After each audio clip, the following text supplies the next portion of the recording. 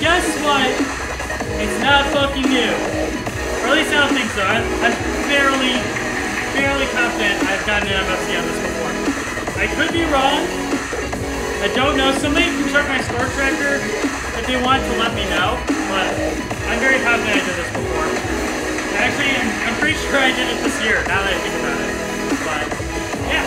That was a good run, obviously. Got all marvelous. You know, one right before this, you'll see.